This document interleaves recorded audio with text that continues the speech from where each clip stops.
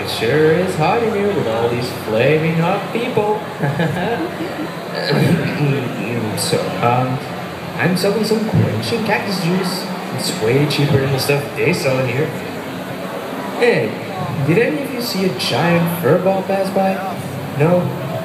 Well, you see, we lost our giant flying bison. I had stuff to keep an eye on him while I was washing my fancy sword down by the river. And guess what? She lost sight of Appa. You idiots! Of course! I'm blind! Hey Doc, no need to get so angry. You know, although I'm not really into fortune telling, I can predict you will meet your husband on a blind date. Oh.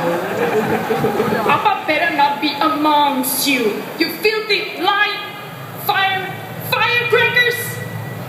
Hey, wasn't that? She was called as firecrackers. Arrest her. Well, you come here. Catch me if you can. You filthy firebenders! You all suck!